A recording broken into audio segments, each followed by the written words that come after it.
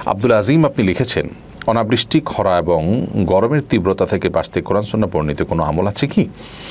অনাবৃষ্টি এবং তীব্র গরম এবং খরা, এগুলো থেকে মুক্তি লাভের জন্য প্রথমত আমরা ইস্তিস্কার সালাত আদায় করতে পারি। এই সালাদটি আমাদের সমাজ থেকে, আমাদের দেশ থেকে অনেকটা বিলুপ্তির পথে বলা যেতে পারে। প্রিনবী সাল্লা সাল্লাম অনাবৃষ্টি, প্রচণ্ড গরম, গরমের তীব্রতা, খরা, এগুলো হলে তিনি সাহাবিদেরকে নিয়ে মাঠে বেরিয়ে যেতেন এবং তিনি বাহিরে গিয়ে দুরাকাত সালাত আদায় করতেন।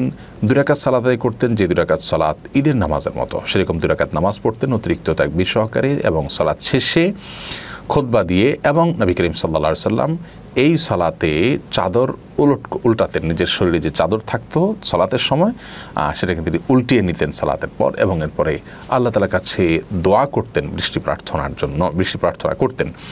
তো এটি হলো খরা, অনাবৃষ্টি এবং আপনার গরমের তীব্রতা। এই সময়গুলোতে পড়ার জন্য বা করার মতো একটা আমল, যে আমলটি আমাদের মসজিদগুলো থেকে হওয়া উচিত। এটি মসজিদের বাইরে মসজিদের উদ্যোগ নিয়ে মসজিদের বাইরে খোলা জায়গায় হওয়া উচিত এবং আমরা সবাই এর জন্য উদ্যোগী হওয়া উচিত, আন্তরিক হওয়া উচিত। ইস্তেস্কার সালাদ জীবনে একবার পড়েননি, এমন বহু মুসলিম আমাদের সমাজে পাবেন। আমরা এই গুরুত্বপূর্ণ সুন্নাটি আমল না করে বরং অনেক হাস্যকর কাজ অনেককে করতে দেখি।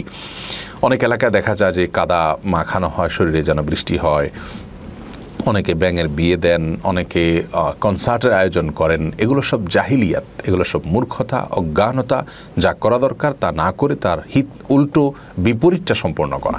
আল্লাহ তালা আমাদেরকে তফিক দান করুন, আমরা যেন এই মূর্খতা থেকে, অজ্ঞানতা থেকে বেঁচে থাকি এবং অতিবৃষ্টি, অনাবৃষ্টির জন্য গোটা দেশে ওলামা একরাম সমস্ত মসজিদগুলোর উদ্যোগে বৃষ্টি প্রার্থনার নামাজ বা সালাত এসেস্কা করা উচিত। বিশেষ করে গরমের তীব্রতা থেকে বাঁচার জন্য আল্লাহ তালা আমাদের তফিক দান করুন।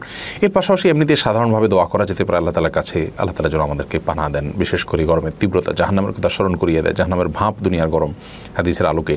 অতএব সেখান থেকে আমরা পানা চাইব এবং তীব্র গরমে নানা রকমের রোগ বালাই হয়, সে ব্যাপারে আমরা সচেতন থাকব। মানুষকে পানি পান করানো এই টাইমে বিশেষ গুরুত্ব রাখে এবং উত্তম সাদাকা হলো মানুষকে পানি পান করানো, সে সুপ্রিয় পানি পান করানোর ব্যবস্থা আমরা নিব। আল্লাহ তার আমাদেরকে তফিক দান করুন।